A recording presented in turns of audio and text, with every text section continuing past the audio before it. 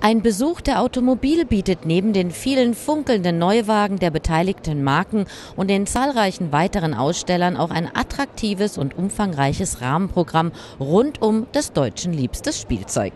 Für Groß und Klein ein absolutes Vergnügen in Halle 1. Die 18 Meter lange Carrera-Bahn entfacht das Rennfieber und garantiert eine heiße Performance. Bis zu vier Spieler können gleichzeitig um den ersten Platz kämpfen.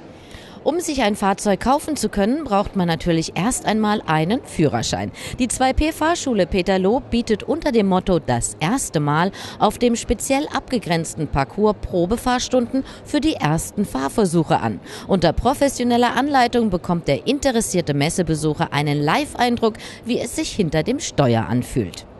Spaß pur bringt der Quad-Parcours. Auf dem Freigelände gibt's eine geballte Portion Action und das Gefühl von Freiheit. Die kleinen vierrädigen Kraftfahrzeuge sind ziemlich agil und flink und man möchte gar nicht mehr absteigen.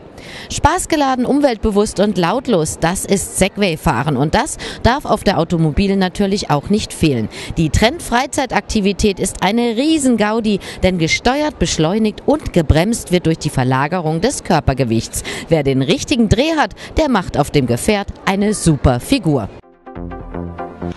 Freiburger Messe TV. Freiburger Messe TV. Immer aktuell informiert.